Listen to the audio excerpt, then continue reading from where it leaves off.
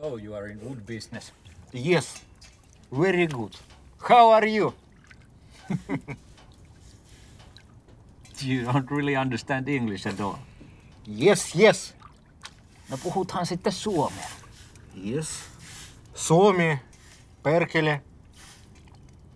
Isäukkokin oli mettäbisneksessä. Paperikoneen käyttäjä.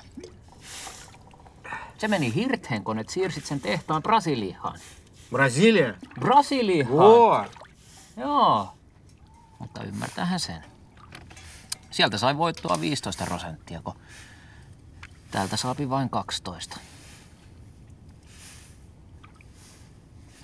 Se on muuten taitolaji hirttäytyminen. Pitää olla tarpeeksi pitkä köysi, että niskanikama menee poikki. Muuten siihen vain tukehut itsekses hiljaa ja saatat tulla vaikka toisiin aatoksiin. Mutta se, että mälli lentäis, niin, niin se on kyllä legendaa. yes. Se on pelkkää kusta ja paskaa, kun ihminen viimeisen kerran vappautuu.